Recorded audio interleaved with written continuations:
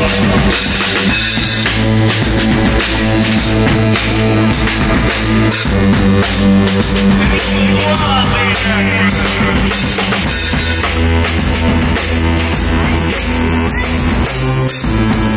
back.